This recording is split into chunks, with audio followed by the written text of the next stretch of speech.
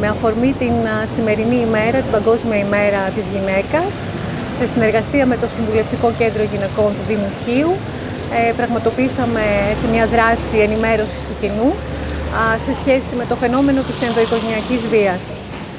Ε, είναι πολύ σημαντικό κάπως όλοι μας να ευαισθητοποιηθούμε σε αυτό το θέμα για την ελληνική αστυνομία είναι ένα θέμα υψής σημασίας, στρατηγικής σημασίας και είναι μία από τις προτεραιότητές της η αντιμετώπιση αυτού του φαινομένου.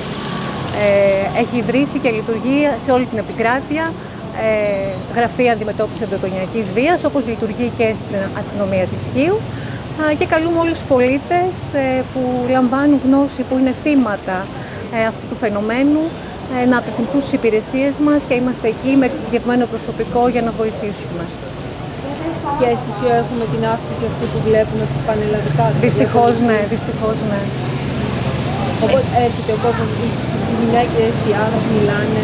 Ο κόσμος έρχεται, αλλά δυστυχώς είναι ένα φαινόμενο που ακόμα και σήμερα ε, δυστυχώς ε, υποκαταγράφεται. Και αυτός είναι και ο λόγος για τον οποίο προσπαθούμε έτσι να ενημερώσουμε και να ευαισθητοποιήσουμε το κοινό ε, να έρχεται να καταγγέλει, γιατί πραγματικά η ελληνική αστυνομία είναι εδώ για αυτόν ακριβώς το λόγο, για να βοηθήσουμε τους πολίτες σε αυτά τα δύσκολα περιστατικά που αντιμετωπίζουν. Που είναι βέβαια ένα πολύπλευρο φαινόμενο, έτσι δεν αφορά μόνο την ελληνική αστυνομία, αλλά από το δικό μας μετερίζει ό,τι μπορούμε καλύτερο έτσι κάνουμε. Σήμερα είμαστε εδώ μαζί με τη Διεύθυνση Αστυνομίας Χίου ε, δώσαμε φυλάδια στις γυναίκες που επιθυμούν να ενημερωθούν για θέματα βίας ε, και όχι μόνο. Ε, ως μια σήμερα έτσι, ημέρα που είναι σήμερα η 8 Μαρτίου, η μέρα της γυναίκας. Ε, φαίνεται ότι ο κόσμος έχει ανάγκη να ενημερώνεται, ε, θέλει να ενημερώνεται, θέλει να μαθαίνει.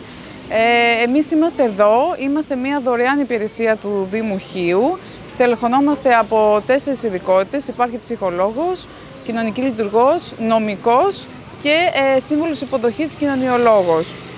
Στο κέντρο συμβουλευτικής μπορεί να έρθει οποιαδήποτε γυναίκα είναι άνω των 18 ετών ε, και δεν αντιμετωπίζει μόνο προβλήματα έτσι, βίας, αλλά μπορεί να ψάχνει και εργασία, να είναι άνεργη, να είναι μονογονίας, να είναι αμαία, μετανάστες και προσφύγησες επίσης δεχόμαστε. Και οι υπηρεσίες είναι δωρεάν.